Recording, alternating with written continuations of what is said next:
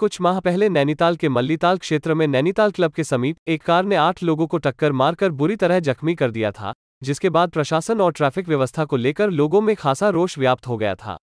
लोगों ने बीडी पांडे अस्पताल से लेकर चीना बाबा मंदिर तक वन वे करने और दो पहिया वाहनों की आवाजाही पर रोक लगाने की मांग की थी, जिसके बाद प्रशासन द्वारा बीडी पांडे अस्पताल से लेकर ऊपर चीना बाबा मंदिर तक दो पहिया वाहनों की आवाजाही पर पूर्णतः रोक लगा दी थी। बीडी पांडे अस्पताल के सामने गोलघर चौराहे पर ट्रैफ़िक पुलिस को बैरियर के साथ लगाया गया, लेकिन ट्रैफ़िक पुलिस द्वारा अपने जान पहचान वालों को प्रतिबंधित रास्ते से आने जाने दिया जा रहा है, जिसकी वीडियो भी सोशल मीडिया में वायरल हो रही है। ये देखकर लोगों में ट्रैफ़िक पुलिस के लिए नाराज़गी पैदा हो गई है। लोगों का कहना है कि नियम सभी के लिए बराबर है, अगर कोई व्यक्ति जो चौराहे के आसपास रहता है और वो ट्रैफ़िक पुलिस की पहचान का है तो उसे दिन में कितनी बार भी आने जाने दे रहे हैं, जबकि बाकी लोगों को आने जाने में रोक रहे हैं। लोगों का कहना है, ट्रैफ़िक पुलिस सौतेला व्यवहार कर रही है। अपने खास लोगों को बेरोक टोक आने जाने देती है और बिना पहचान वालों के साथ बदसलूकी से पेश आती है।